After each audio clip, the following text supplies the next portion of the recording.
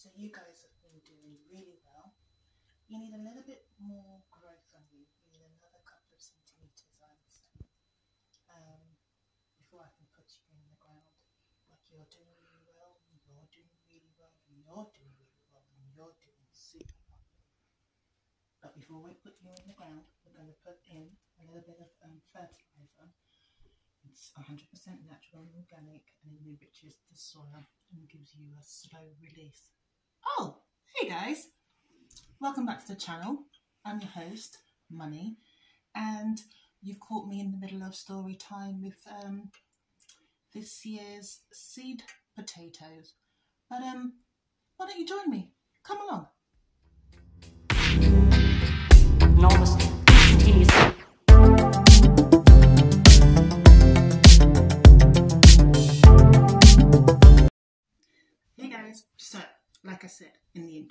We are talking all things seed potatoes and fertilizing them, chitting them. Yes, I said chitting, I know it's a weird word. And that's really what today's video is about. Um, my one of my daughters came up to me and said, The potatoes look really weird. What are you doing to them? And I said, I'm chitting them. And she thought I'd said something weird. And I said, No, I'm chitting them. So say it with me chit, chit, chit, chit. To chit or not to chit? That's today's question. Right, let's start at the start, shall we? I've made notes, so if I look in that direction, I'm reading my notes, so bear with.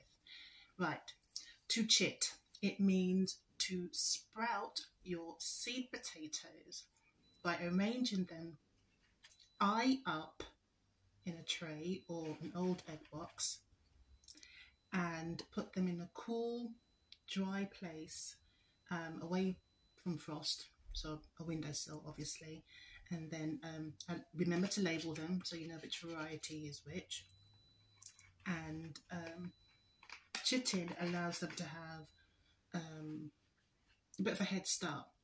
So once you've chosen your variety for the year, uh, because there are a number of different varieties out there, once you've decided which ones you want, put them in an egg box and leave them somewhere cool and dry. This year, I'm starting, or I'm growing Pentland Javelin. Stick that label back in there. And on this side is Maris Piper.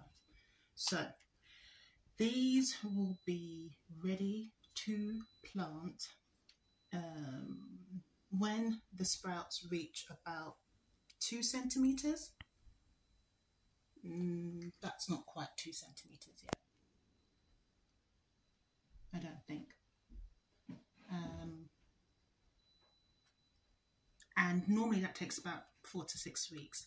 Now, I purchased these back in late January, so soon, the next couple of weeks, these will be able to be planted out in my grow bags out in the garden.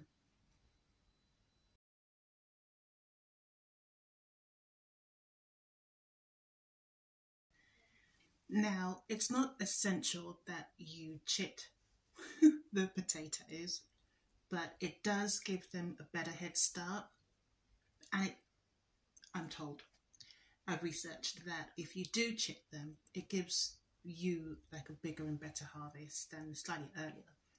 And we want to eat these as soon as possible. So I'm going to go down the chitting route and once they are ready to harvest, we'll see what the results are. Doing the chitting. Why does that sound so weird?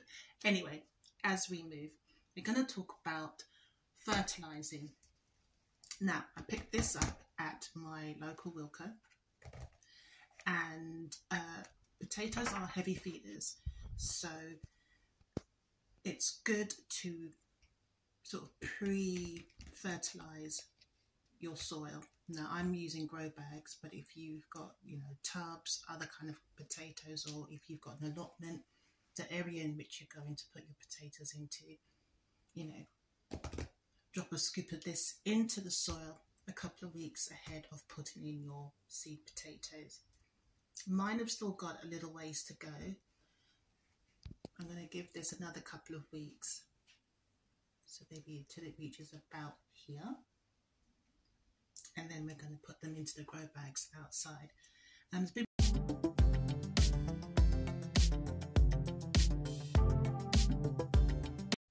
Hey guys, welcome back. Sorry, the camera died, but we're back.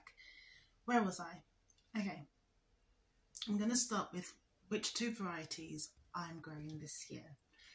Um, they are Pentland Javelin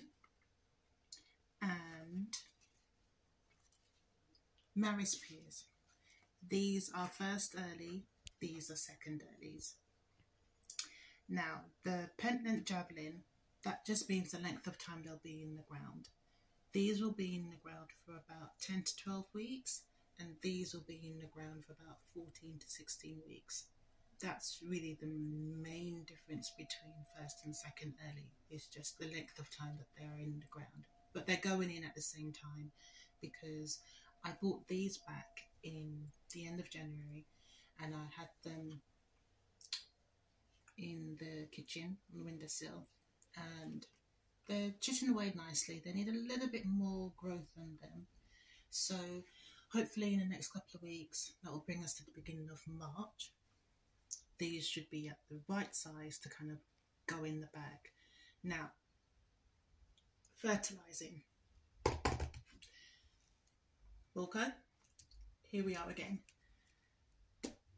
Potatoes, as we all know, are root vegetables, but they are really heavy feeders. So this week, um, just ahead of these guys going into their grow bags, I'm going to start prepping their grow bags and I put a scoop of fertilizer in each bag